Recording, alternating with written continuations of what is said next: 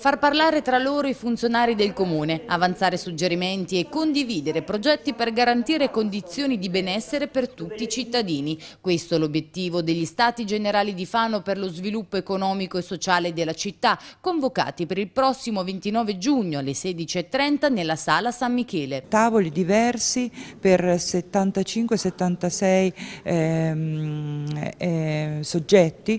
hanno eh, favorito una progettazione che verrà nella giornata degli Stati Generali eh, riportata alla cittadinanza, alla Giunta, a tutti coloro che in qualche modo vogliono entrare anche nel merito di questo processo di coprogettazione e di condivisione,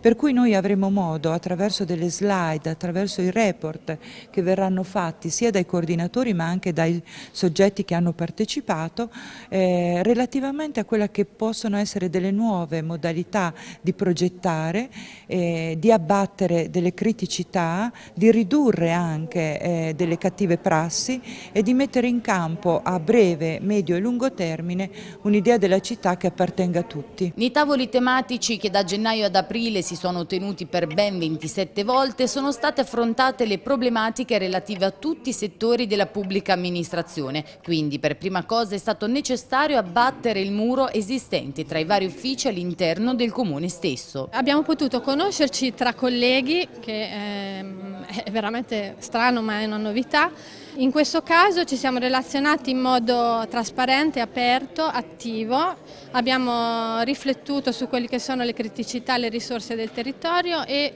eh, disegnato alcune proposte progettuali concrete. Ci auguriamo che col convegno del 29 eh, possa eh, possano molte più persone, molte più associazioni, molto più cittadini chiedere di esserci per